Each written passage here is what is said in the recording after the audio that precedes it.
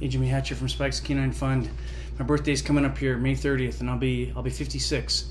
Part of the reason I get to celebrate that 56 years is dogs saved my life in combat uh, more than once, and actually, after I came home and struggled, dogs like Mina have, have helped me. So we have a lot of dogs on our list right now. I think we have 27 dogs that need vests.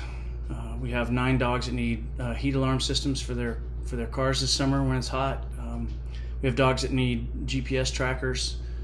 We have a dog that needs some medical attention right now. All in all, those things add up to a little bit over $100,000.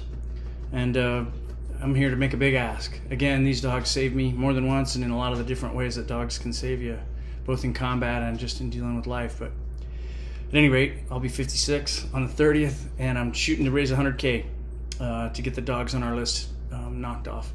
So if you if you can help us out, please do. I appreciate it. Thank you.